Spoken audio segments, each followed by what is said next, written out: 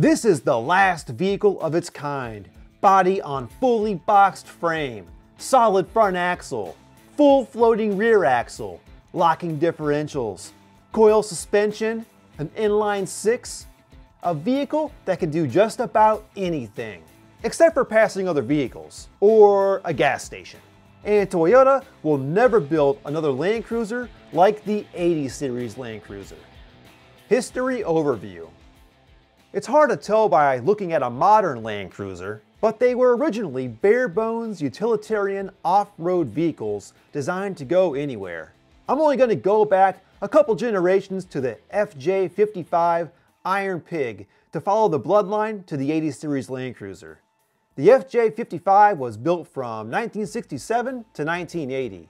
And although it looks utilitarian by today's standards, that's just the way SUVs were built back then.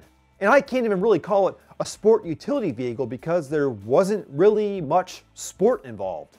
The FJ60 was introduced for the 1980s and it brought luxuries such as an automatic transmission, air conditioning, and a rear heater, while still being rugged enough to tackle any off-road terrain. The facelifted FJ62 was introduced later that decade with fuel injection and quad headlamps to give the aging 60 series a refresh to keep up with other SUVs. Then the 80 series hit the North American market in 1991. The 80 series continued the 60 series gravitation toward luxury with a more forgiving coil suspension instead of harsh leaf springs, and a modern, plush 1990s interior full of luxuries.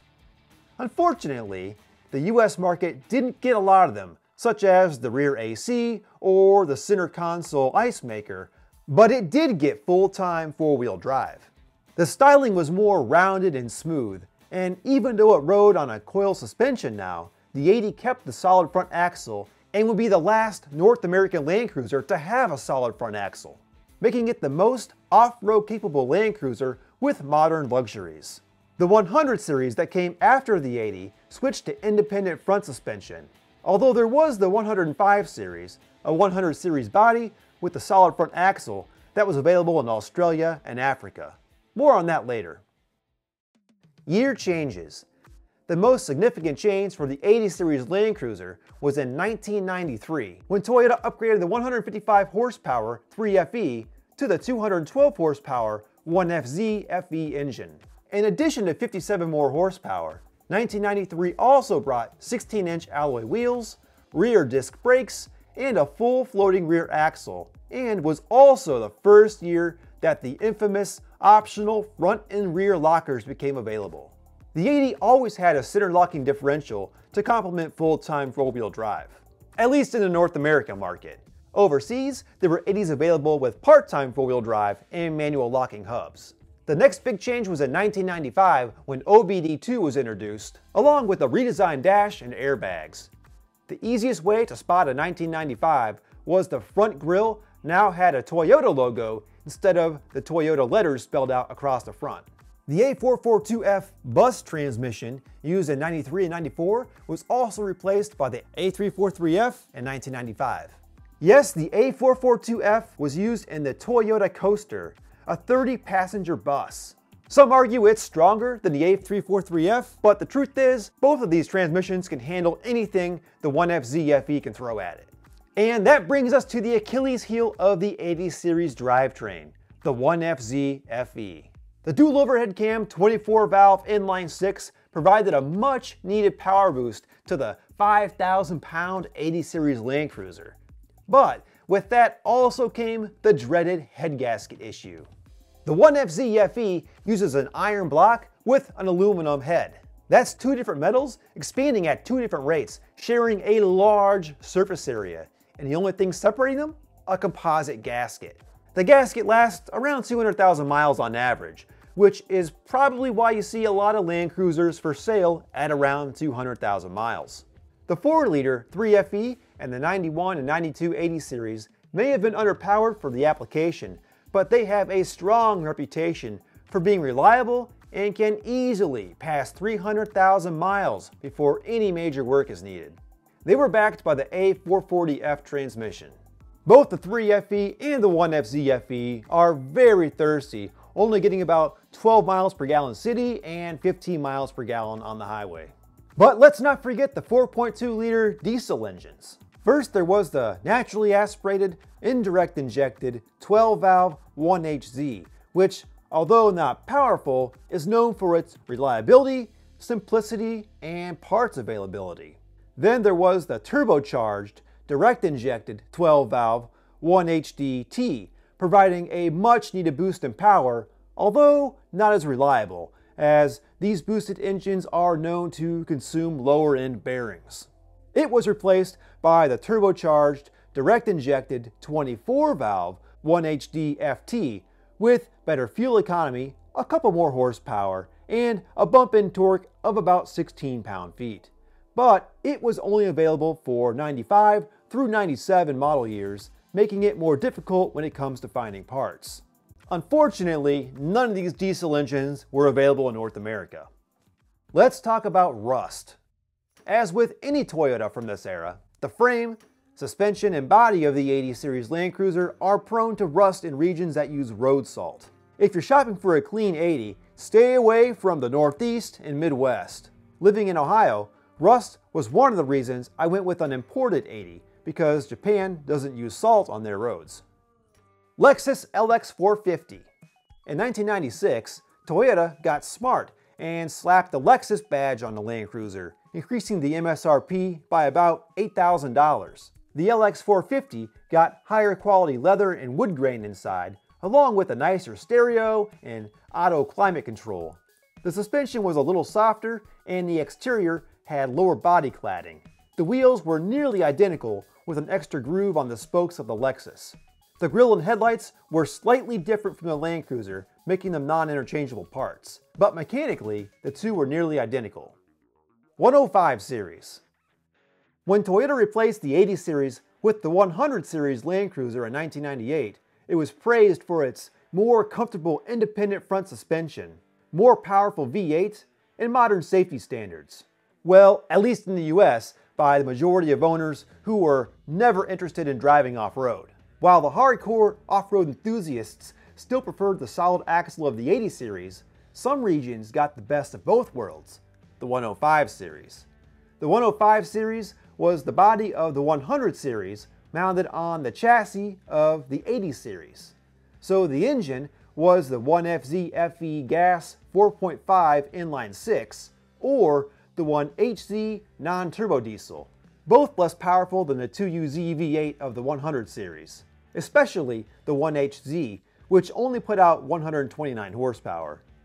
So the 105 series wasn't fast. It also wasn't as luxurious as the 100 series, having fewer features and a more simple interior. The 105 series was the more utilitarian version of the 100 series and allowed the 80 series drivetrain and solid front axle to live on an additional generation where it was used to traverse the jungles of Africa and the Australian outback. However, there was one other place that the 80 series continued to be produced. The Venezuela 80 series. In Venezuela, the 80 series Land Cruiser was produced until 2008. Many of these were stripped down to the bare essentials compared to some of the Japanese models or the LX450. Some of these featured a carburetor, sealed beam headlights, Vinyl interior with a split bench seat, rear barn doors, steel wheels, and no fender flares.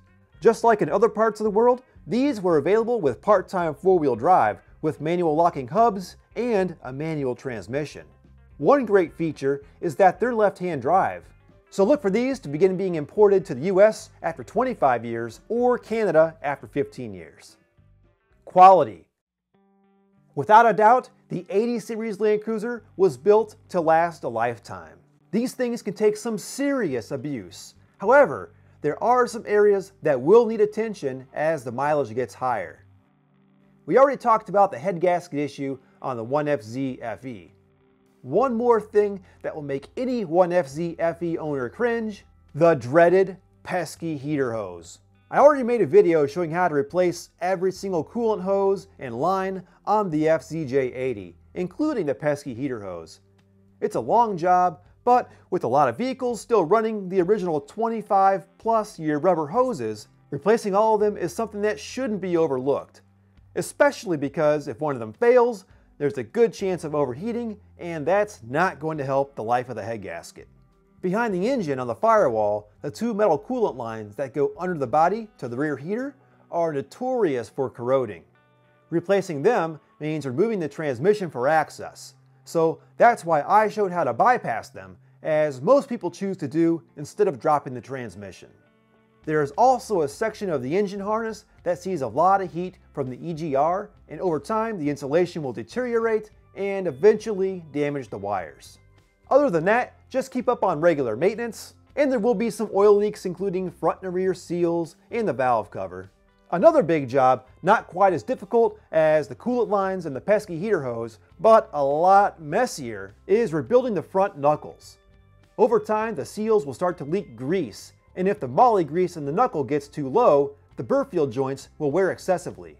My neglected 80 only had about 85,000 miles when I bought it, but because the previous owners let the grease get too low, both left and right Birfields were clicking on sharp turns.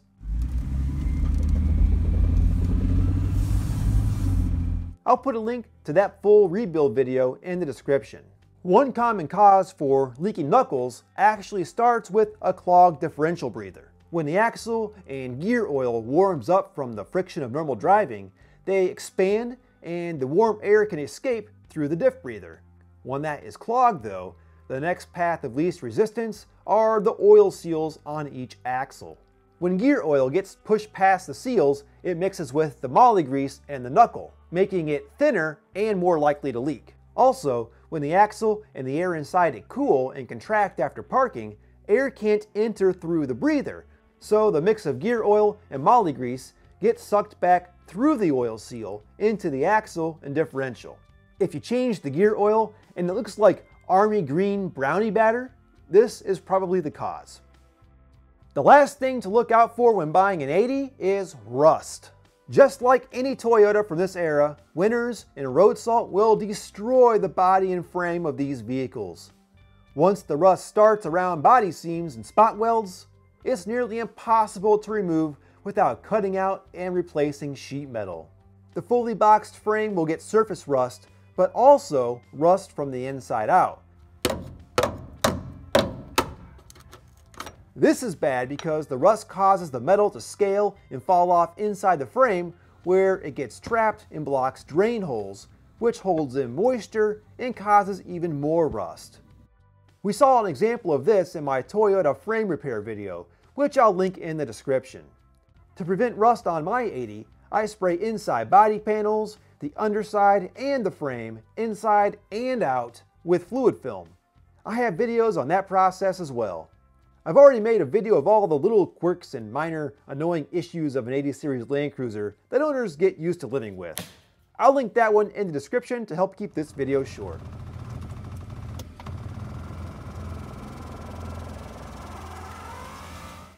Off-road. When it comes to off-road capability, the 80 series Land Cruiser is one of the most capable SUVs straight from the factory.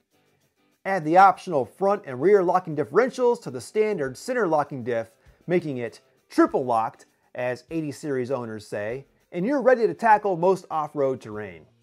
The 91 and 92 North American Land Cruisers came with 265 75R15 tires on the 15 by 7 inch alloys, while the 93 and up 80s came with 275 70R16 on 16 by 8 inch alloy wheels. In other parts of the world, steel rims were also available as standard equipment. 285 75R16 can be fitted to the stock 16 by 8 inch alloys at factory height without any rubbing on body or suspension components. I have these on my 80 and it comes out to about the same height as a 33 inch tire. A 2 inch lift is all that's needed to fit 35 inch tires without any rubbing. There are plenty of aftermarket kits if you want to go bigger. Overlanding. With its solid axles, heavy-duty frame and suspension, and massive 91 cubic feet of cargo space, the 80 Series Land Cruiser is an excellent choice for an overland build. There's a wide selection of cargo racks, rooftop tents, and drawer systems available in the aftermarket. Toyota was well aware of this capability and actually offered an optional overlanding edition of the 80 series called the Active Vacation Package. If you were into camping or overlanding back in the 90s, then this was the setup you wanted. These came loaded from the factory with all kinds of goodies like a folding shelving unit with built-in storage, it had a fold-out sink and gas stove, plus a fridge in the back. Full curtains that covered all of the windows, and it still retained the second row seats, so you could haul the whole family. They're pretty rare to come across. I'll put a link in the description to one of those that sold on Bring a Trailer a while back. Value. Back in the 90s, luxury SUVs weren't a huge market segment like they are now. Here in North America, we had the Jeep Grand Cherokee Limited, Land Rover Discovery, Mitsubishi Montero SR, Ford Explorer Limited, and Isuzu Trooper LS. But these were all smaller sized $30,000 SUVs that, although loaded with options, weren't in the same league as the larger $40,000 Land Cruiser with third row seating, capable of seating 7 or 8 passengers depending on the year. The Nissan Patrol was a direct competitor to the Land Cruiser, but was never available in the US. And although well built, its traditional boxy styling definitely didn't scream luxury SUV in the 90s when everything was becoming smooth and rounded. The only real competitor to the 80 series Land Cruiser in North America was the Range Rover. The luxurious Range Rover was still more pricey and unfortunately became better known for their unreliability and expensive maintenance. I mean, when was the last time you saw a 1990s Range Rover on the road? Compare used prices of all the vehicles I've mentioned, and there's one clear winner when it comes to holding its value in the used market. As with most vintage Toyotas, 80 series prices started to skyrocket in 2020 during the COVID-19 pandemic. People just wanted to get away from it all, and overlanding was becoming a lot more popular. Plus, there was the usual Toyota tax taking place when people realized that these are now on the verge of becoming classic vehicles from an era when they were built to last a lifetime, but still had enough amenities to make them comfortable for a daily driver without being overloaded with tech and electronics like modern vehicles. Original low mileage examples were reaching six figures on Bring a Trailer. The 80 series was about $45,000 when new. Prices have started to level out and the 80 series Land Cruiser continues to be a solid investment. In April of 2020, I took a chance and purchased the cheapest imported 80 series Land Cruiser in the US for $9,500. It had been neglected, but I'm documenting all the steps to bring it back to its former glory. And I'll have links to those videos in the description, as well as a comparison of the cool Japanese options on the 80 series that were never available in North America, like the Ice Cube Maker. As time would go on, the Land Cruiser would continue to evolve into more of a luxury SUV with the latest technology, isolating its passengers from the outside world, a far cry from its utilitarian roots. North American sales would continue to dwindle throughout the 2000s, selling just a few thousand units per year on average. Until late 2020, when Toyota announced that the 2021 would be the last year of the Land Cruiser to be sold in North America. While other parts of the world would be offered the 300 series, North America would have to wait until 2024 for their next Land Cruiser, the 250 series, or Prado as the rest of the world knows it. The Prado is the smaller, sportier Land Cruiser, but was never available in North America. This fresh start brings a smaller, less expensive, more utilitarian design to the US. Only time and sales figures will show if this new Land Cruiser has the same ideal balance of utilitarian ruggedness, comfort, and luxury as the legendary 80 series. So if you already own an 80 series, post the year and model down in the comments and let us know how you like it. If you're in the market for an 80 series, I hope this video answers some questions. Do me a favor and give this video a thumbs up if you found it helpful. That really helps the channel grow. Thanks for watching.